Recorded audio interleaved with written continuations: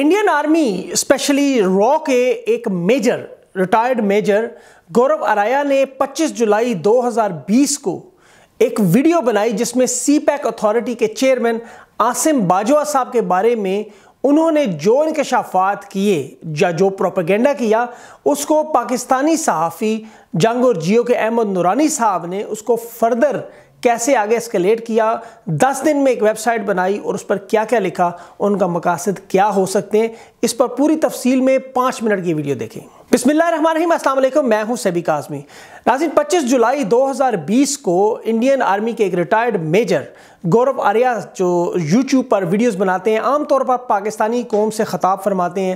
انہیں پاکستان کے مسائل کا بڑی دکھ ہوتا ہے اور وہ اکثر اوقات پانی کے مسائل پر، انہیں، پانی ٹینکر مافیا کے مسائل پر، کس طرح ہماری آرمی، ہمارا بجٹ کھا گئی، کس طرح آسم باجوہ اور قمر باجوہ آپس میں رشتہ دار ہیں، اس وجہ سے فوج میں ہیں۔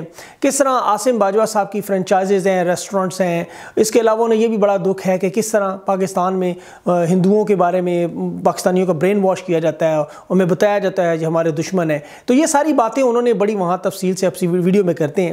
لیکن وہ یہ بھول جاتے ہیں کہ اگر وہ کبھی یہ بھی بتا دیں کہ ساتھ انڈیا میں اس وقت سولہ کروڑ لوگ بھوکے رہ رہے ہیں، پاکستان کی ٹوٹل جتنی آبادی ہے اتنے لوگ تو صرف وہاں فٹ پاتھ پر رہ رہے ہیں۔ وہاں پر صاف پینے کا پانی سترہ کروڑ لوگوں کو میسر نہیں ہے۔ ابھی بھی چھہتر کروڑ لوگ جو ہے ان کے پاس ٹوائلٹ کی فیسلٹی نہیں ہے۔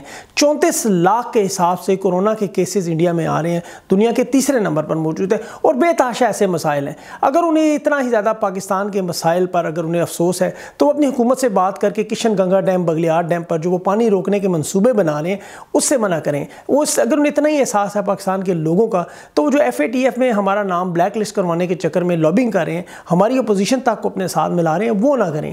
اگر وہ یہ بھی نہیں کر سکتے، تو پھر کم از کم یہ کریں کہ جو سیکشن 370 جو انڈیا نے 35 فائی بی لگایا ہے، مظلوم چناروں کی سرزمین کے لوگوں پر اس کو ہٹانے میں اپنی آواز بلند کرے۔ اگر یہ بھی نہیں کر سکتے تو پھر وہ اپنے مسائل پر توجہ دیں اور ہمیں ہمارے حال پر چھوڑ دیں۔ اب اگر بات کریں پاکستانی صحافی جو جنگ اور جیو کے احمد نورانی صاحب کی، تو انہوں نے دس دن پہلے ایک ویب سائٹ بنائی جسے فیکٹ فوکس کے نام پہ اور انہی میجر صاحب کی دی ہوئی وہ تمام معلومات جس میں انہوں نے بتایا کہ کس طرح باچکو نام کی کمپنی بنی فرنچائزز بنی ریسٹورنٹس بنے، ان کے بچے، ان کے بھائی، سارے انہوں نے ملوث کر دیے سارے کام میں، جو کہ انیس سو نوے میں یو ایس اے میں موجود ہیں اور پیزا ڈیل ڈیلیوری ڈرائیونگ کرتے ہوئے یہاں تک جو ہے وہ اتنی محنت کی ان لوگوں نے، جس طرح بھی کام کیا، جس طرح دنیا بھر میں اوورسیز پاکستانی کر کے کہیں نہ کہیں پہنچتے ہیں۔ اس طرح باجوہ صاحب کی فیملی کے ساتھ انہوں نے ٹارگٹ کیا، انہوں نے بتایا جی جنہوں نے بڑے پیسے بنا لیے، ان کے اوپر سارے الزامات لگائے۔ بالکل اس طرح جس طرح کی گاڑی کا پچھلے دنوں شور تھا کہ وی ایٹ گاڑی، سب کو پتہ ہے کہ نان کسٹم پیڈ گاڑیاں سیاستدان، فوجی افسران اور ججز کے پاس ہوتی ہیں۔ اب آسم باجوہ صاحب کی بیوی کے بارے میں بھی انہوں نے الزامات لگائے۔ تو اگر انہیں چاہیے تو یہ تھا کہ ان کے پاس اتنا بڑا ادارہ موجود ہے۔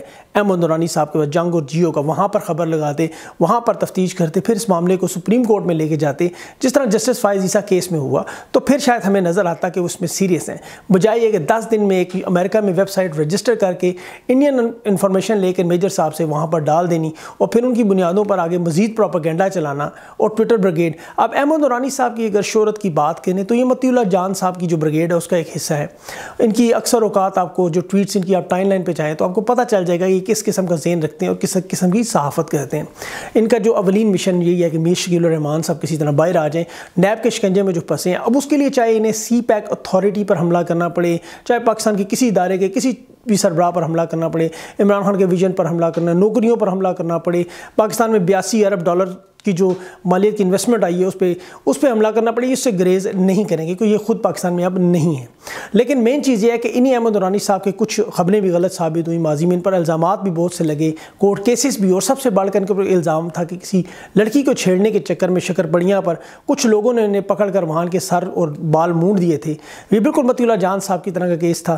تو بعد میں ان الزامات لگے، لیکن یہ پھر سارا جو معاملہ تھا وہ بالکل اسی سمت میں گیا، جس طرح متی اللہ جان صاحب باہر آئے اور کبھی دوبارہ الزام الزامات نہیں لگے۔